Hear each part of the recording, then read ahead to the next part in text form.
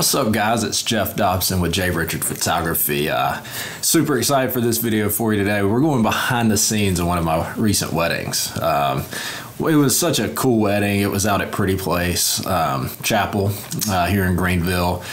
The most gorgeous scenic, gorgeous scenic views you, you could ever imagine for a wedding normally. Um, on this day, it was uh, incredibly cloudy, which, as photographers, of course, we love. Um, but what we ran into once we went way up on the mountain was that we were actually in the clouds at that point. And so what would normally, you know, look like this actually wound up looking like this.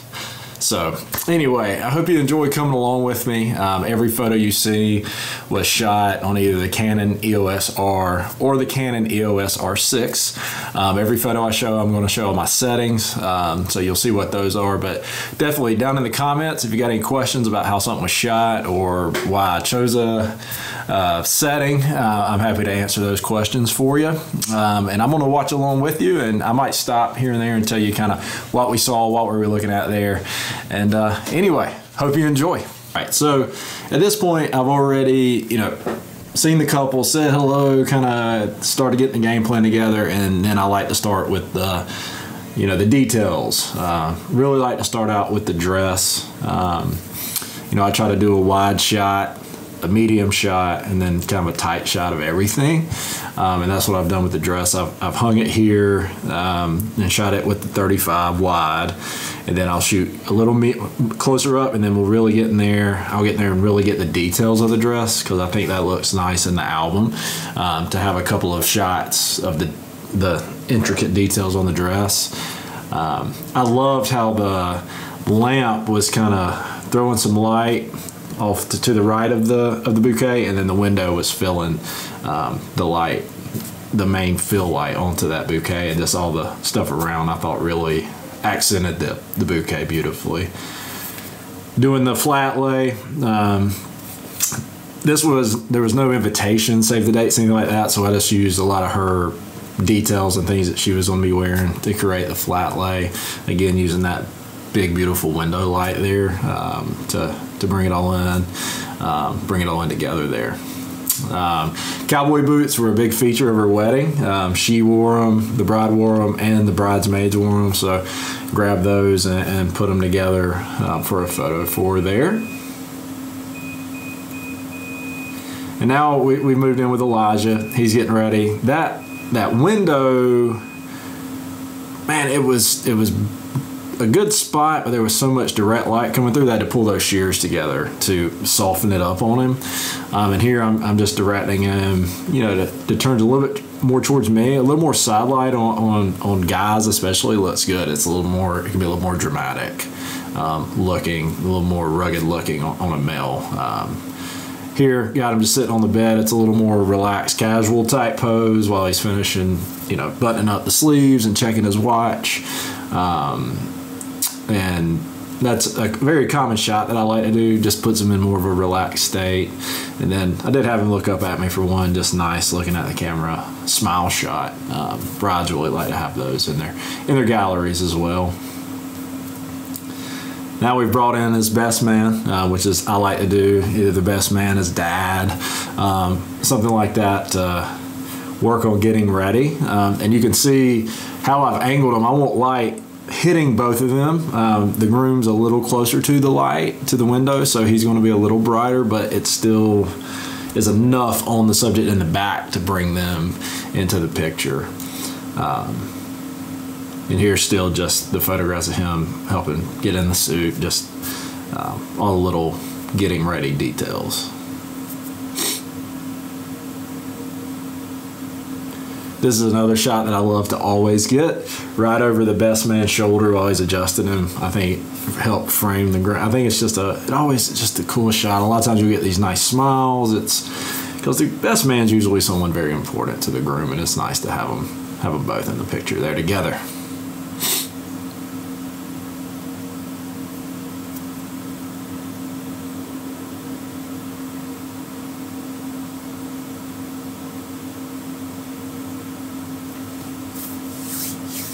Now here I, am again directing him how I want him to stand in front of the um, window, um, and he wasn't quite getting it, so I did give him a little touch just to kind of square him up how I'd want. Um, I, I, I try not to touch people as much as possible, unless I mean, unless I just have to. Um, very appropriate touching though. I don't, I don't like to to touch as too much, but. Um, now we're moved in um, with bridal party. I like to do individual shots with the groom, with each groomsman, as well as uh, the group shots. Um, that way they get something independent with each member of the bridal party, um, and they can have those individual shots um, for them right, to, to send out. Um, and then Well, a lot of times they'll do something funny One, two, together, three. something like that. Um, and you're gonna see. Um, All right, now you can put arm around each other. I'll have them put Like their arms each around other. each other Oh, um, yeah, as there we one of go. those shots, more of a casual look. And I always make sure they unbutton the jacket. That way, there's not that weird pull on the jacket that Cell can happen when you the put the arm around each other. Gonna do with you? Uh, here, we call it the cell phone in the pocket. Boy. Something you always have to be on the lookout now for. Be on the lookout for nowadays at, at weddings because no, always have the cell phone in the pocket. It just doesn't look that great bulged out.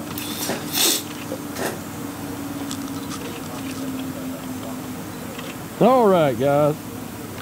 Look at that. Look what we turned that backdrop into. My goodness. Look at that. Nice. Isn't that cool? Look And here I, I- I show them the back of the camera, the screen. Um, I think doing that a handful of times through the day just kind of keeps the momentum going, so they know they're the pictures are already looking good on the back of the camera. Um, and so showing them that, you know, keeps them keeps them motivated, keeps them ex- excited about what's going on. Uh, but now we're just getting the group shot together. Um, just made it a very symmetrical pose with everybody kind of turned towards the groom uh, to draw your focus to him.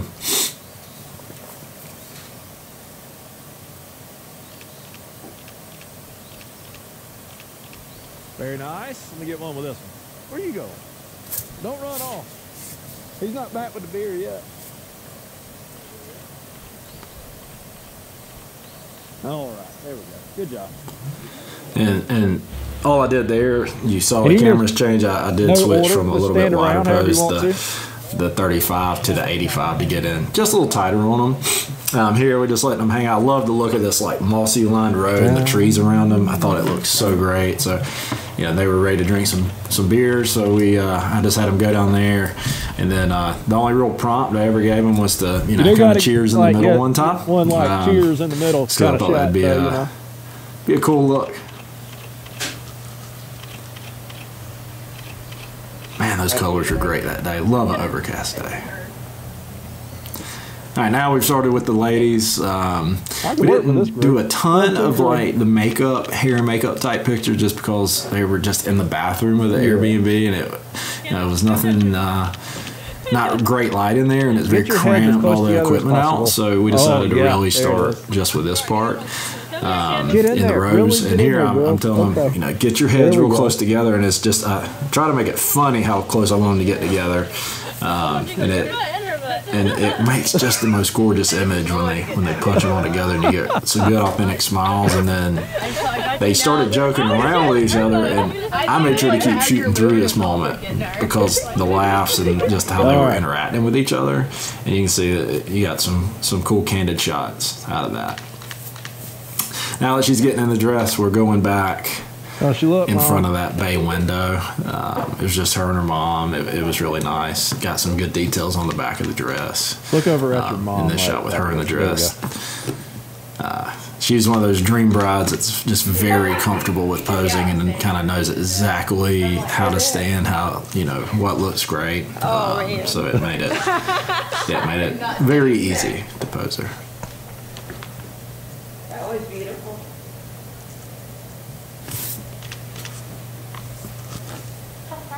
I can't help it. All right, Mom, you get in there and start. And they're just still using that beautiful window light to fall on her. Yep. Here we're doing the uh, mom buttoning up the back of the dress. Always a, a very sweet moment. Just something I'm sure she's thought about for a lifetime. Ever since she had a little girl.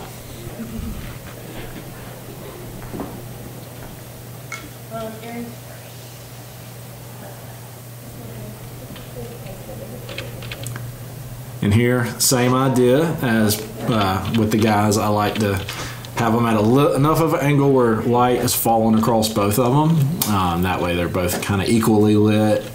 Not equally lit, but at least both getting light on them um, in the photos. That way, they both really stand out. And you can make out who is both instead of one falling completely in the darkness.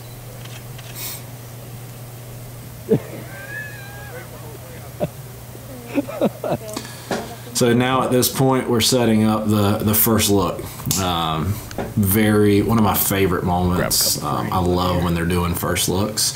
Um, and a key here, if you're doing a first look shot, right there, is to really let this moment build. Um, just let you know, let the groom sit Nice in it for a moment. He, No nerve, you know no he's nerve. excited. You know he's nervous, anxious to see her, but still, just if you can let that build for a few moments, get that picture of him with her blurred in the background, and then get a picture of her with him kind of blurred, framing her. He's in the foreground and blurred, you know, and just take your time in those moments and, and just let it build. Um, and then I do like to get a shot with her looking back with him blurry in the background. I think that There you go. always makes for for a very beautiful shot as well. But after that, you know, I usually just give her, you know, the cue to go up, turn them around, and just now whenever you're from ready, there, I let turn them around. it just happen. Turn him to the Um, left, I don't, don't get involved anymore. Um, I just let them have their moment. Um, there will come a point when you do that that they'll eventually, after they've hugged and cried and kissed, they'll they'll eventually look at you and be like, okay, now what? Um, but until that that happens, I don't I don't get involved at all. I just let these moments happen and then just capture them for them.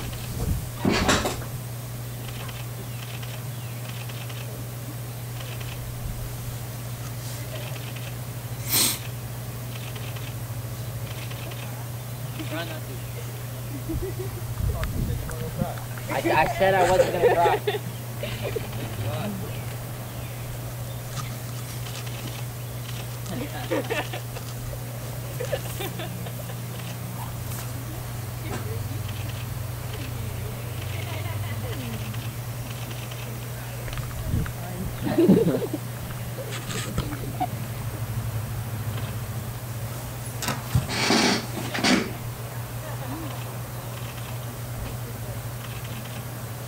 was such a cool pressure release once he finally got to see her. He was so Yeah, built up for the day. Um, and when he saw her, yeah. you could just you could feel feel it release. Here we're getting some portraits of, of Nan before uh, before the, right we here. get to the There ceremony site. Um, again, using that, Roll that your shoulders back just a Road. little bit. There we go. It was Oh, just yeah. perfect. So beautiful. Um, again, she was very natural. Just simple instructions like roll your shoulders back was all she would occasionally need. But other than that, I mean, she just fell right in to posing. She she knew exactly what she wanted. Again, shooting with primes. Yeah, you know, we, I was back to get some wide shots, showing more of the surroundings, and I've walked in, getting the closer shots, and then I'll show her the back of the screen so that like with Elijah, I want her to see how beautiful she looks and, and get and feel that much better right. about about the day. Um, and then ready? from there, we move into Everybody good? as we did with the guys, the Y'all individual good. I'm just shots with the you. bridesmaids and the group shots. Um, and this group was a lot of fun. They we had tons of corny jokes to tell and a lot of laughs, and it made for uh, and it made for some really wonderful photos for them. Anna's got two baby goats. Come on now. Good job. I do. Don't quit talking shit while smiling. Drop your dress, Hey, Anna. how do you make a tissue dance? Hello. How do you make a tissue dance? You put a little boogie in it. Oh, snap. What's it called when Batman leaves church early? Oh, I don't know that one. Christian Bale. Uh, Next. And now we, we, we've moved to the to the ceremony site um, out at Pretty Place, and you can see just how cloudy it was. It, it gave it this like o- almost like ominous feel. It was it was very it was a dramatic look, that's for sure. Um, and since we were not doing any sort of like reception coverage, I did want to make sure that everybody they invited to the to the wedding that I got a photograph of them at the uh, at the ceremony. Um, just it was a very small group, so the people that were there obviously held a, a, an extremely special uh, place in their heart. Um, and so, just as uh, everything's kind of getting set up and going, I'm walking around, you know, getting the details. Um, you know, there there's not a ton um, of little details at Pretty Place. I mean, there, there's a few, but you know, um, there's not a lot of decor that goes into decorating Pretty Place. Um, now we're beginning with the, the processional family members and the bridal party um, all coming down um, to take their seats and to stay in their place. Um, this I shoot uh, two different ways. Um, I will get wider shots. Um, at this point, I've switched to a 16 to 35, so I'm getting them wide coming down. And then I'll also, with the 85, get tighter shots of them coming down the aisle as well. That way, I have a little mix there. Um, but I like the idea of the zoom lens of the 16 to 35 because if, like right here, they're coming real fast and I don't have a way to switch cameras, you can zoom in and zoom out. Get a similar effect. Um, of course, not quite as tight as the 35, but or as the 85, but it still it still works. Wild and crazy bunch.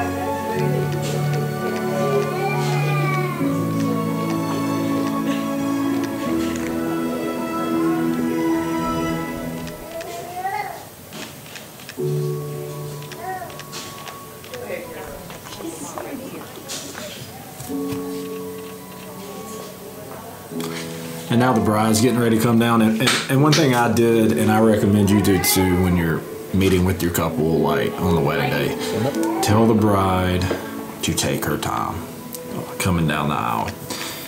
She doesn't have to run down that aisle. She doesn't. She's going to be nervous and want to go quick, but remind her to take her time, keep her head up, and then I always be sure to get that shot. His reaction, even though they've already seen each other, did a first look. You still want that reaction shot. Excuse me, reaction shot um, of him seeing her come down the aisle. It's still so special. Um, here I step to the side to get a few more shots of him seeing her. Um, sometimes I'll step in behind the bride and get him in between um, the bride and her dad, um, which is always a cool shot too. Here I step to the side to get this because I knew um, how he would be giving her away and doing that handshake. So I wanted to be able to grab that for him. Um, and then from this point, you know, I, I just kind of work the boundaries um, of the ceremony, um, capturing it from all sides. Again, some wide shots, some medium shots, some tight shots. Um, I think that helps put it all together, especially for building the album out. Um, it gives you that opportunity to to fill your pages with that and tells the full story of the wedding day. Um, and so yeah, that's how I'll I'll cover around mixing between the, the 16 to 35 and the 85 in this case, um, and it gives you you know just the images that you want. Again, tight, medium, and wide. So here's still just you know getting shots down the kind of down the the line of the wedding party, um, featuring focusing mostly on uh, you know the expression of, of the groom here uh, from that side, and then um, I'll we'll work around and, and get that same shot from the other side, um, where I'm focusing just on the bride's face. Um, it's, a shot that I always am looking to accomplish is, you know, her looking at him with that all loving look, and him looking at her the same way with that big smile or that, that loving look. Here I was getting a wide shot, just wanting to show how dramatic the scene looks um, with all that, with the clouds that have rolled in so much. Man, it, it was amazing. Um, I'd never seen Pretty Place this way, so it was it was pretty special to uh, to behold, um, just because you, you you don't get to see it this way very often. Um, it was pretty cool.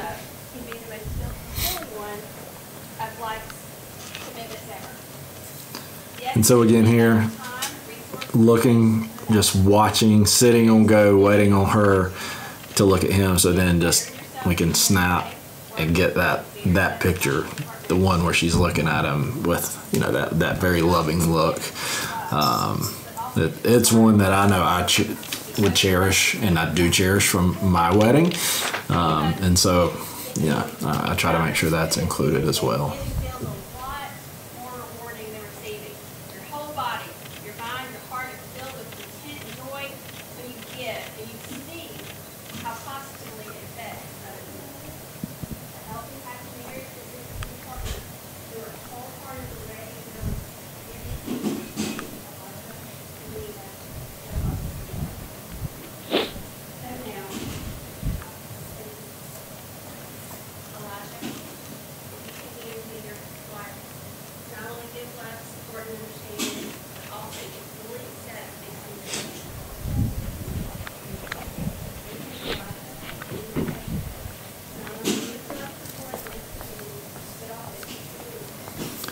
So now I'm working my way back down to the other side to that shot I just got of the bride. I'm now focused solely on getting that picture of the groom um, and looking for just the absolute best expression to deliver in their gallery.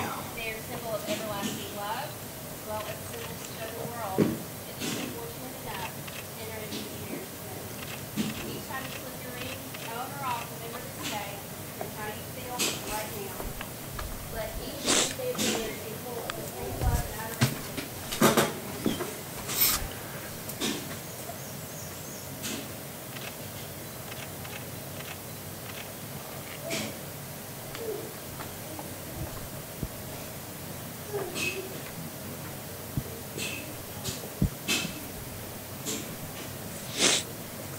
A lot of steps climbed, shooting a wedding at Pretty Place. And there are these awkward steps too. They're like, it takes like two steps per step. It's very, uh, you have to be very careful.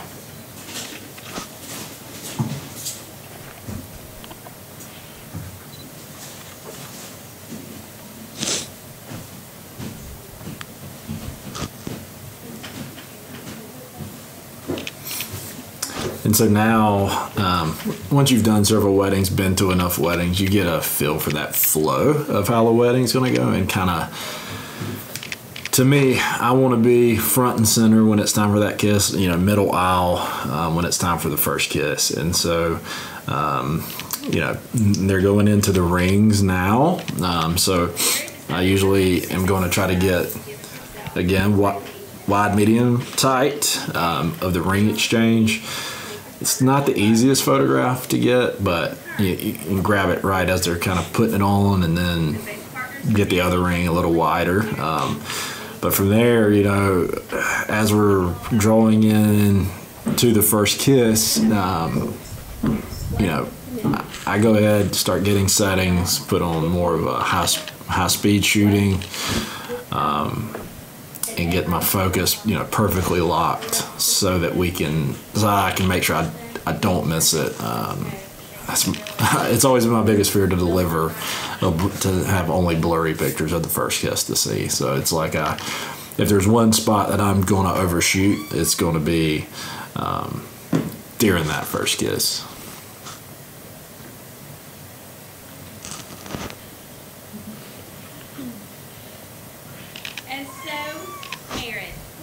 Selfless and at the same time wonderfully selfish commitments you can make. And I'm overjoyed to now officially introduce Mr. David Smith. Elijah. What a dip. First time I'd ever had anybody do a dip for the first kiss. That was, uh, that was very well played. I loved it. They, you could tell they practiced it, worked out good. And then another first for me was uh, she hit him with the, the Smirnoff ice afterwards, like right after the kiss. I never seen that before. Pretty funny though, so I, I had to rush down, try to get in some sort of uh, yeah, get in some sort of spot to uh, get a photograph of that. It's pretty funny. Made for a pretty epic shot though. Gotta say that. Um, and so then, after the ceremony, we uh, yeah, we just kind of go into doing uh, a few family portraits. Uh, again, basically everyone there was family, so um, you know, the, you know, there was no real like shot There list needed. It was just kind of right. whoever wanted to group up, grouped up, can see you and, and and we went from there. Um, you know, it, it was pretty pretty easy that way. Um, everybody's real laid back with it. Um, made it fun. And so at, this point, we were looking out at the outcrop, the outcropping of rock that's right past the um, the altar there, um, and it makes when it's clear, it's an incredibly um, dynamic photograph to be out there, and um, today was no different. And then after um, getting those couple portraits of, of Nina there, Elijah had this. He he really wanted this shot under the veil. Um, where I'm under there with him and I shoot it real wide and the veil's just dramatically coming out the camera. Oh, it, it works so good. And you have to forgive the, all you're going to see is my strap here, my GoPro kind of got knocked down to where it was only looking down, so you can't see exactly what I was seeing. Um, but I'll show you, um, but you'll see the finished picture here. And it was just one of those shots that you know they had in their mind that um, they absolutely wanted. And it's a shot that i love doing anyway but the clouds the clouds in the skylight absolutely took this photo i thought to a completely different level. Um, just gave it even more softness to it um, which a lot of times you don't get um, which i thought was yeah, it was super cool. And then the last shot that that they wanted created, um, kind of before they left, was one where the veil is draped over both of them, and you know, get a real um, romantic kind of very emotional type moment in there. Um, and I think you get that by coming close to kissing without kissing. Um, so you get something like that. And then I did have them go in just for uh, for one or two more, um, but it just worked even better, I thought, um, with them getting real close together like that, and made for a yeah, made for a great portrait. Um, anyway, that was their wedding. Uh, like I said, there was no uh, reception. Uh, we, we, we weren't there for a reception coverage. Um, it was just more of like a hybrid, almost kind of an elopement, but with the getting ready parts photographed as well. So it was really cool. Um, but yeah, it was a ton of fun. Um, and I, I'll, I'll have another behind the scenes wedding from out at Pretty Place coming soon where you can actually see what a wedding looks like when it's not in the clouds. Um, but you know, gosh, I hope you you enjoyed that. I hope you learned something. I plan on making several more um, behind the scenes and more tutorial videos. Um, so like it, hit subscribe, and if you think if you know someone um, other than yourself that is maybe wanting to get into photographing weddings, maybe send it to them and, and let them see um, kind of what it looks like there. So anyway, I'm Jeff Dobson with J Richard Photography. Hope you enjoyed this behind the scenes video, and uh, see you in the next one.